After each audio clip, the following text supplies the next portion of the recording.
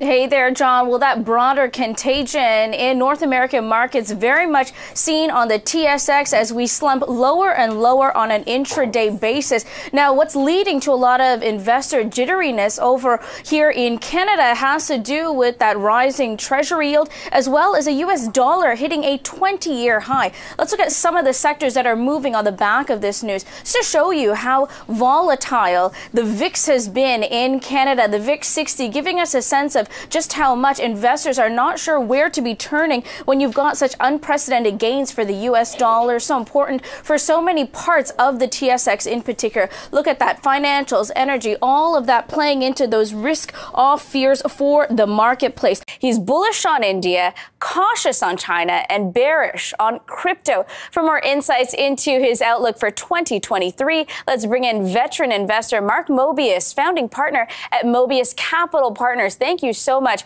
for taking time to speak to us today. So just taking a quick look at prices right now, of course, US dollar losing some of its steam, but several global economists don't see a full U-shaped shift in terms of the end of the dollar's dominance into 2023, at least until the second quarter. I mean, do you agree? And tell me, what do you think that's going to be doing for emerging market investors?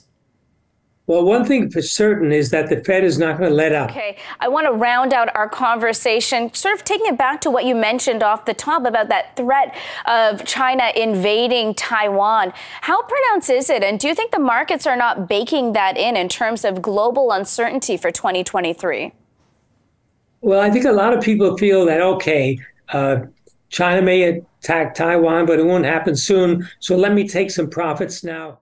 Hey there, John. Well, this is a market that's still very much digesting. Yesterday's surprise 0.5% increase by the Bank of Canada depends on which macroeconomist you listen to. Derek Holt over at Scotiabank said it was a premature move and one that the market should be concerned about given the stickier inflation that we have in the country. But look at the TSX, some solid gains right now, up about 0.7%. Lots of stories we're focusing on, including Shopify. Talk about a stark contrast to its, you know, peer over in the U.S. Meta, which had slumping revenue, a downtrodden long-term forecast, resulting in double-digit losses for the company at the market open. Look at Shopify, completely different story over here in Canada, up 12.1%, handily beating revenue estimates for its business, proving to the marketplace, yes, it has spent billions in investing on upgrades to sort of move away from that e-commerce narrative that pushed it forward during the pandemic. And now, according to investors, it is definitely proving that that was the right bet. The real takeaway here is